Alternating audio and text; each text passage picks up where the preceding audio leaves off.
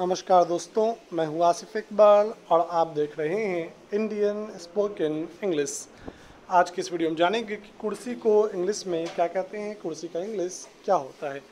तो कुर्सी को अंग्रेज़ी में, इंग्लिश में चेयर कहते हैं C H A I R chair कुर्सी को अंग्रेज़ी में, इंग्लिश में चेयर कहते हैं।